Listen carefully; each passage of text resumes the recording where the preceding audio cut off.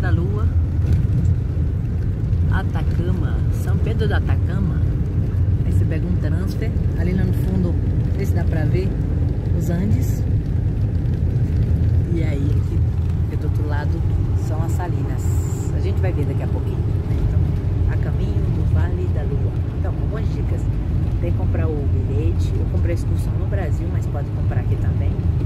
E começa à tarde, lá para as 4 horas, e termina no pôr do sol. Esse que, nós estamos, que eu estou fazendo é o do pôr do sol.